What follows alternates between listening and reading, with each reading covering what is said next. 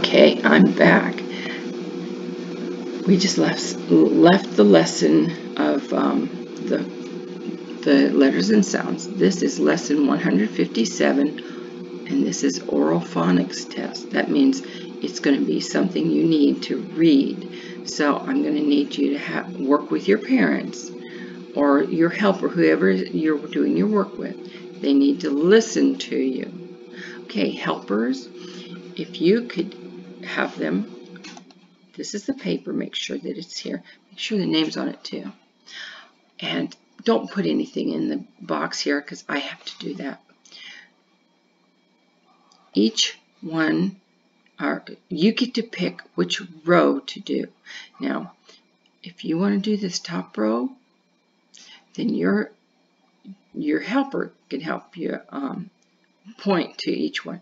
They can't tell you what it is. So helpers, just have them read it. They can mark the vowels if they want to. They can circle the special sounds if they need to. However, it, uh, whatever it takes to help them to read this. But I do need them to read them by themselves. Whichever row. So it might be this row. It could be this row. Or it could be this row. So if they were reading this top row, and they got it right, put a smiley face over it if they got the got it right. Now, if they didn't get it right, if they missed it, then just leave it blank. Just put a smiley face over the ones that they got. And if you wanted to two rows, that's fine. If you wanted to do three rows, that's fine too. But um, I do need one row.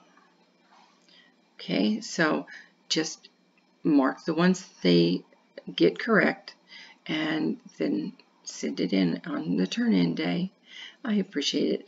You can take a picture of it and send it to me through um, either through the Remind or if you have my uh, email address, you can email it to me. I'd appreciate that. Thank you. And thank you for all you do. And I will say bye-bye for now. Bye-bye.